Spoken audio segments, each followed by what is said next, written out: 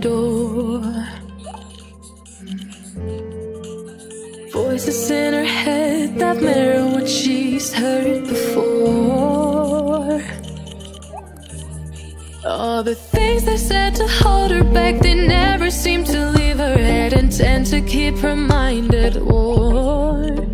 All the things they said to hold her back, they keep her locked inside of all the times when she's been hurt before.